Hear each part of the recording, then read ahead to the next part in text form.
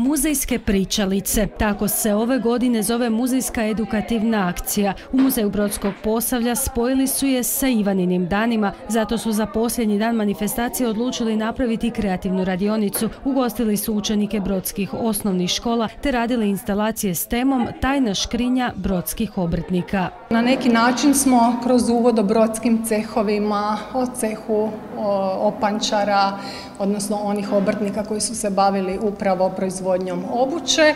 Došli smo kroz prikaz e, povijesnog razvoja odjeće do nekakvih dizajnerskih, e, ekstravagantnih modela koji su nam poslužili kao motivacija za ovu radionicu koja vodi akademska slikarica Ivana Kutuzović. Ivana je osmislila radionicu koja je kao inspiracija poslužilo dijelo njezine imenjakinje Ivane Brlić-Mažuranić. Znamo svi njene priče, Šegr Hlapić, pa smo htjeli e, cipele malo ukrasiti, Borovo nam je bilo sponzor.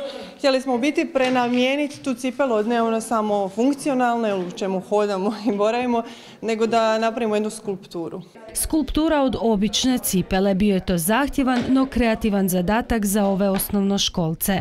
Dobili smo cipelu da izradimo, dizajniramo. Počeo sam sa tim da e, počnemo oči i usta. Nije još dovršena, mislim staviti ovdje malo zelene trake. Ja sam tu stavio prvo ove čavle i onda sam ovo, sad ću raditi neku vatru. Ovo krzno sam neko stavila i onda sam stavila ruke da se može pljeskati. Pljesak su zaslužili svi jer su uspjeli na kreativan način izraziti svoje ideje o cipeli kao umjetničkoj instalaciji. U muzejskim pričalicama sljedećih mjesec dana sudjelovat će 70 kulturnih ustanova u 35 hrvatskih gradova. U Slavonskom brodu nakon tajne škrinje brodskih obrtnika očekujemo novu radionicu. Na njoj će se izrađivati starinski nakit, a zvaće se simbolično ljepša strana povijesti.